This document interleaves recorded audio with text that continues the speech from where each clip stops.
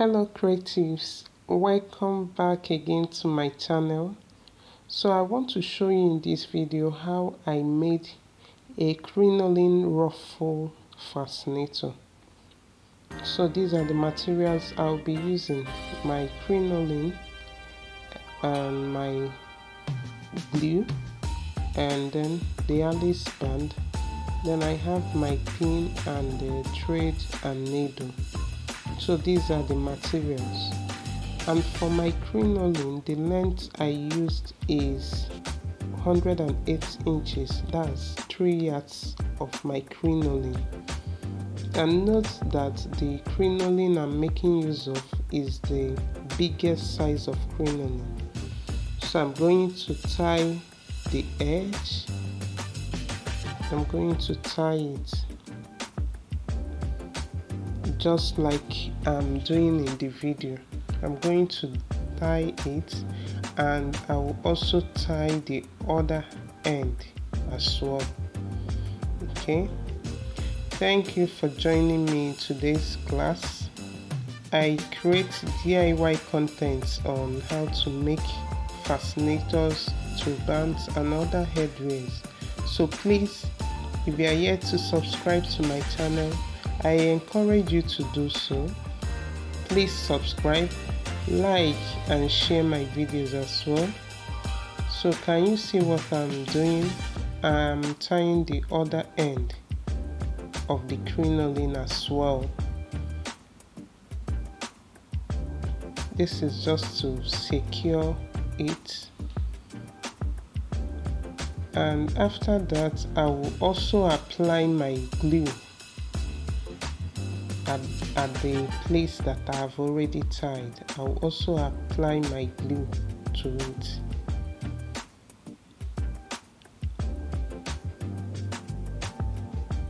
So you pay you follow this video and pay attention on how I achieved the fascinator. Is actually very simple and easy to make okay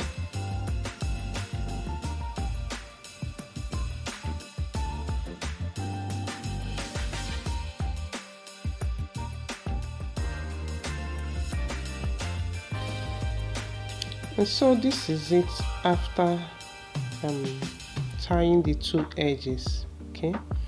Now I want to form the ruffle. And first thing to do is to run a stitch in the mid at the middle of the crinoline. So you run a kind of a loose stitch. You can use uh, your sewing machine and do that but I prefer using my needle and thread.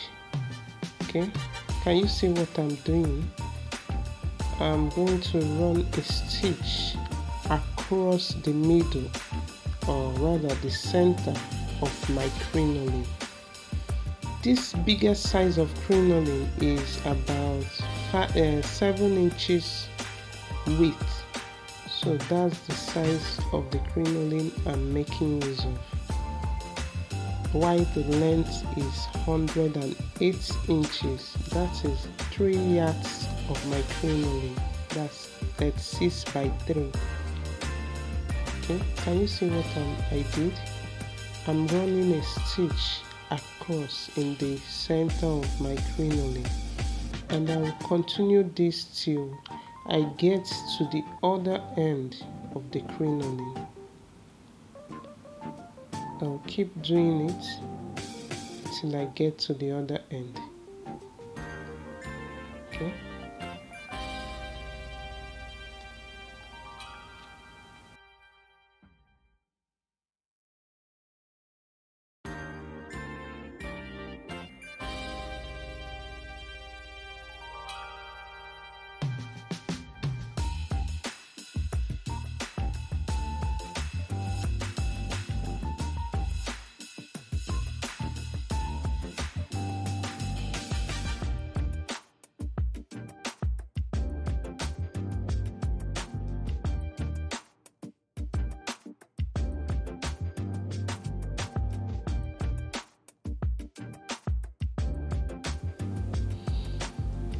Okay. So now I've gotten to the other end and I'm going to be pulling the thread. And if you are you if you are, if you make use of a thread that is not so long you can actually be pulling it while sewing. Okay. But if it's long enough you can you can pull the thread when you are done sewing it can you see that? Immediately you pull the thread it forms the ruffle. So you are going to arrange. Arrange your ruffles to look so uh, beautiful okay? You're going to arrange it and then you also sew it from the from one side to the other side can you see my ruffles?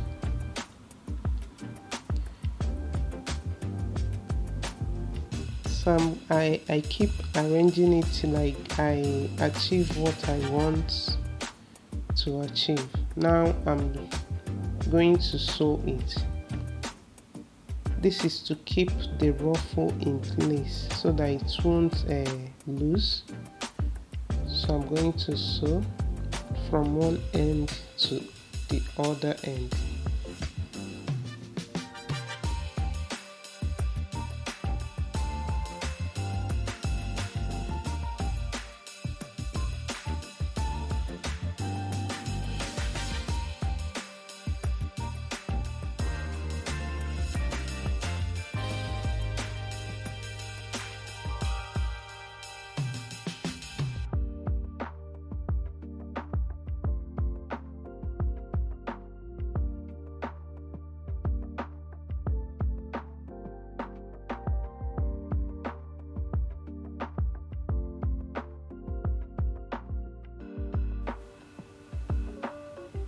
okay so now that i'm done sewing can you see that so beautiful? And i'm going to be attaching it to the alice band. And this is actually the last step in making this fascinator and i'm also going to sew. You can you can use a candle gum to attach but i prefer sewing to the Alice band. So I'm going to sew it to my Alice band. You will have to sew it till it's very firm. The crinoline is very firm on the Alice band, okay? So I'll keep sewing it. Please, if you enjoyed this video, please like this video and if you are yet to subscribe please kindly do so. Subscribe to my channel like my videos and thank you for joining me in today's tutorial. And you can actually connect with me on all other media, uh, social media platforms and I will leave the links in the description section. Okay let's connect on instagram let's connect on facebook. And i also have a facebook group which after trying out this tutorial you can you can send me the picture via inbox and i will repost. The name of the facebook group is diy fascinators and headpieces. So let's continue. Can you see that? We have our beautiful fascinator then what I will do next is just is simply to cover the thread. This just to ensure that I have a neat finishing. So you can use your fabric any fabric maybe a fabric of the same color preferably a trimming or a little piece of felt material. You apply your glue and stick it to the place okay can you see that I've covered I've covered the trade? And that is just it.